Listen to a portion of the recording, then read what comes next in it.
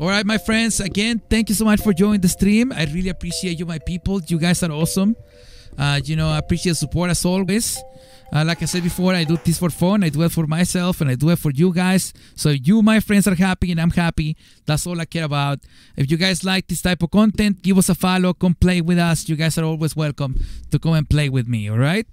I'm gonna upload this to the YouTube, so you guys are watching this on the YouTubes, and you like it. You know what the YouTuber said. Give us a like and like a comment. You guys wanna play? Come join us on Twitch as well. Escaping Workforce on Twitch. Here we go, grand finals. Black Atlas versus Candel. Now, if I'm correct, Candel also make tournaments, I think. It's called, um, he have a series called Crayon Cup. I think it's called Crayon Cup. Pretty cool. So, shout outs to Candel and everyone who makes content for this game, right? Who's making content for the community. Appreciate all of right. you guys. Right now, I'm watching lots of lots Pressure. of Black Controls being in the corner. Oh! The so let me tell you what's up right here. So we have Paprika, the alpaca, the crazy alpaca, versus Tianhuo, the dragon horse. Now oh. Tianhuo, we already established that she's a rushdown character that's gonna be like jumping in top of you. She can fly, so she's gonna try to get you with like overheads and cross ups and stuff like that. Look at these combos, dude. It's gonna extend it. You can extend your combo if you have 2 meter. And then she's going into like a buff. A dragon install in a way. Nice oh, stuff. Really? Yeah, yeah, yeah. This is a buff. I don't know if you play Guilty oh. Gear. Oh, oh, okay, I get it, I get it. Yeah. I understand what's going on here. Guilty Gear have there is a character called Sol Badguy. He transformed oh, into yeah. like a dragon form. Mm -hmm. They call it Dragon Install. This character have the same thing. Yeah, now he, he which is kind of funny because it's a dragon anyways. So it has like dragon install. Oh, got him from behind. Oh no. Oh no. Oh no. Look, he's recovering a little bit of the chip damage. Oh, corner control right here. Oh! Oh no! He dropped the combo. Oh, but he got it. Nice stuff. Beautiful jumping. Awesome, awesome stuff. Like it is saying, that when was a very close first round. When is Den fighting Herds versus the Skullgirls? Woo! This is Them's fighting Herds versus Skullgirls when? When? I know, right? That would be cool. Oh, maybe. Maybe at some point. If they make like a Skullgirls 2.0 or something, they that, can. That would be cool. They can add one of these characters. It would be funny. Yeah. Oh my god. I hope at some point they actually make a uh, Skullgirls 2 I think there is like a they have like a license problem or something. I don't know. Where is the case? Give me another Skullgirls. That would be cool. Because I know they've just been updating the base game instead of making an actual new one. Yeah, making another one. I think they were making like an RPG. I, I forgot the name of it, but it also looks pretty good as really? well. Yeah, yeah, they made a. Um, guys, do anybody remember the RPG that um, the guys from Skullgirls were making?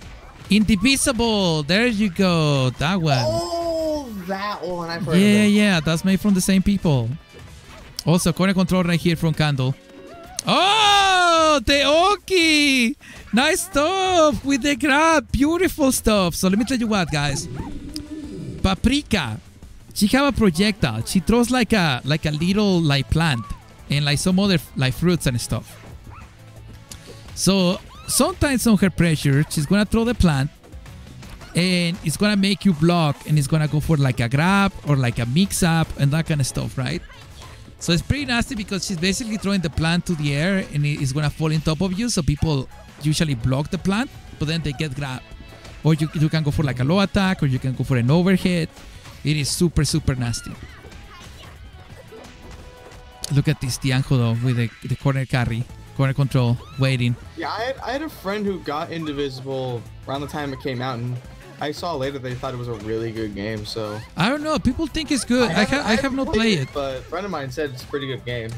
Do you know, it's interesting because they, it, it kind of show that they make fighting games because you basically fight in, an, in the RPG. Oh, nice hit. Right there, Candel is gonna get this one. It's like uh, an action RPG. So you you have like combos and everything. You can like make combos in the game, I think, for Indivisible. Though, though, can I just say in this game that I like how you can really beat the crap out of your opponent with a super, even though they have zero health. Oh yeah, that's that's another thing. So as long as long as you're doing the combo and I think you're on the ground, no, you're on the air, you can continue doing the combo.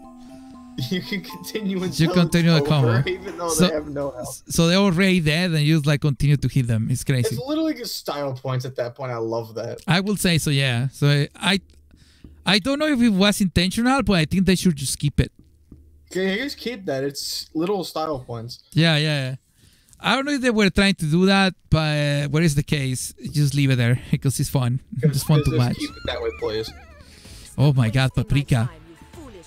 So yeah, Paprika is um, a bubbly, happy-go-lucky alpaca who like to lick you and hug you and kiss you and like she like to get naked and everything. And like and likes to stick her neck out really far. Uh, just, uh, that one too. That one too. Right? it, it look he looks like that really slapstick character with so much stretch on their animations. Look and at these. so Nice stuff. characters, and it's just for comedic effect. It looks hilarious. Which character? Uh, Paprika. Oh yeah, yeah, yeah. Yeah, for sure. Yeah, she's supposed to be like a cartoon character, right? Like um overtly animated cartoon What a character. Looney Tunes character would look like in this art style. Which one? I'd say that's what a Looney Tunes character. Yeah, yeah, it's like, in a Looney Tune. Yeah, exactly. Yeah, yeah, you're correct on that. and it's actually hilarious. Yeah, I guess that's the point of it. And um, we were we are like I was telling people in the chat, uh, T-Rex, that the person who make the artwork for this game is uh, I think it's called Lauren. Let me find it. It's the same person who makes the the Powerpuff Girls and uh, My Little Pony. Yeah, I figured because it looks remarkably similar to My Little Pony. Yeah, it was like su- I think it the was art like style super. Is on point for that. Yeah, yeah. I think it was like pretty interesting that, that she actually offered to like make the characters for the for the game. I think she she was the one who was like, "Hey guys, you want me to make some characters for you?" It's a long story, by the way. It's a long, long story. So for anybody who doesn't know, I guess I just gonna go briefly into the story of this game. This This- looks like a long story. This game started as a fan-made My Little Pony fighting game. And they actually have like My Little Pony characters and everything, right? And um Little Pony characters and. Then apparently one of the companies, I think Hasbro, contact the developers and then they were like, guys, we don't want you to make the game. The developers I were the developers were gonna make it for free, by the way. They just wanted to make it. And then um, Hasbro was like, no, guys, you cannot do that. And the developers were basically gonna give up at that point, kinda. But then the community was like, we don't care, we want the game, right? And then the, the person who made the My Little Ponies, Lauren uh, Faust, I think it's called. I could be wrong on that. I'm gonna like go back and check it out. But the person who made the My Little Pony characters is like, hey guys, I know that you cannot use My Little Pony characters, but do you guys want me to make some for you? And uh, the guy, and the developers were like, hell yeah, that's so essentially, cool. she just offered to make original characters for this game. Yeah, and then not only that, but the guys from like Skullgirls were like, "Hey guys, do you guys wanna jo- do you guys wanna use our engine for free?" So Skullgirls basically helped like the developers with the engine for free, and then the person who made the the My Little Pony characters was like, "I will help you too," and then he made the characters. So this game is the essence of the of the FGC this game is like a legit, just like community driven, like make fighting game, right? So that's one. That- was that's the, awesome.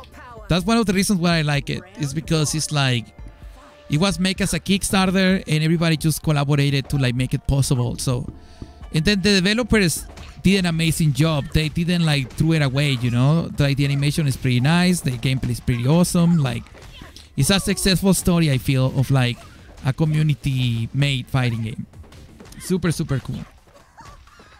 Like I said, all of this is in the documentary uh Hold Back to Block, the making of Den Fighting Herds. Yeah, the animation looks very solid in this game. Oh, look at that. It looks like a cartoon, dude. It's like if you're it, watching. It does. It does. Yeah. It looks like it could belong in My Little Pony. Yeah, it's like you're. Like the exact same art style with original characters. Yeah, exactly. And the original characters are also pretty nice as well. Like I, I like all of them. Oh, look at this paprika dropping in. Now And the fact paprika it actually is a legitimate fighting game on top of that. in top of it. Yeah, yeah, yeah. So it doesn't only look like that, but it's like a legit fighting game, right? So you have alpha counters in this game and like instant overheads and all the kind of nasty, awesome stuff that we like. So yeah, it is a legit fighting game. All right, here we go, guys. This is tournament point. Whoever win this is gonna. Well, no, it can't win this. He will become the champion. Wins this, he wins the tournament. Yeah. With this awesome pressure, try to get a grab. That did not connect. Now, Black Atlas need to just keep up the pressure against Candel, no matter what. The, the thing with Tianhuo though is that she's all about the pressure. She doesn't have that many offensive options. She do ha- she, she can like like jump out of the pressure. She have like an invincible jump roll, I think it is. But it's but it's so difficult once she's on the corner. Especially against Paprika because Paprika is all about look at this, look at this. Look at this thing. Paprika is all about like the mix ups. strong eh? corner pressure. Oh my god. Paprika with the mix ups! Yo, stop it! It's just like keep on kissing him and reset, reset, reset.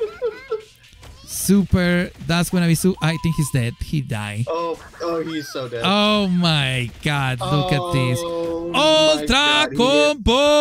So dead.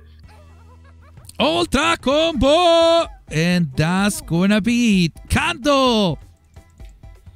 It's gonna get this 3 0 against Black Atlas. But that was a pretty awesome fight. Give us some clappy emojis, guys. For the guys the on You're not wrong. the chat. The Ultimatum! How you doing, bro? Welcome to the stream, muchacho. ¿Cómo